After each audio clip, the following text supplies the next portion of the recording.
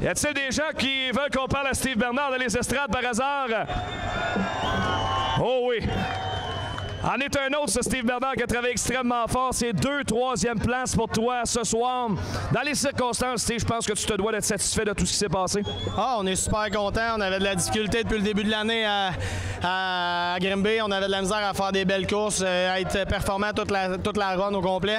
Là, on avait un super de bon véhicule. Il a été performant toute, toute, la run. La track était un peu difficile. avait juste un chemin en haut. Fait que fallait s'organiser avec ça. Mais pour le reste, euh, chapeau. L'équipe a fait une super de belle job. Puis euh, on a réussi à ramener deux podiums pour la soirée Robert Bernard. On peut pas être plus content que ça. Toi aussi, Steve, tu vas être quelqu'un d'extrêmement occupé dans les prochains jours. Les gros blocs s'en viennent. Je sais à quel point tu peux rêver de gagner une course chez les gros blocs. Et crois-tu de plus en plus de pouvoir les battre dans quelques jours?